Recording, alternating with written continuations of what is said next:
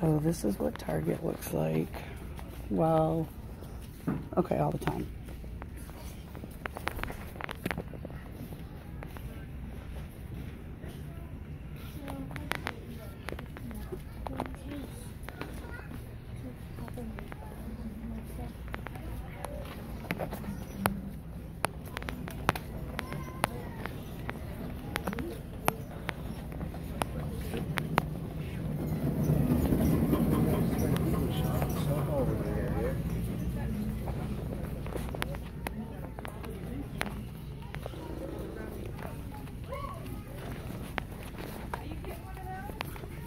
This is the reason we don't shop here.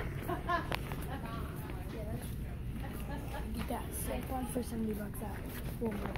Here, 250 bucks. Oops. Sorry.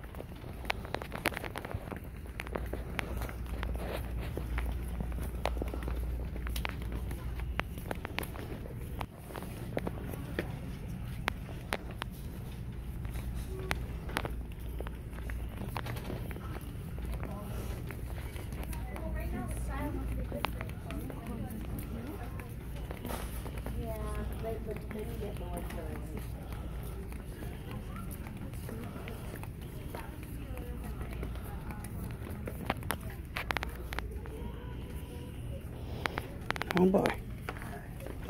They have nothing on Walmart.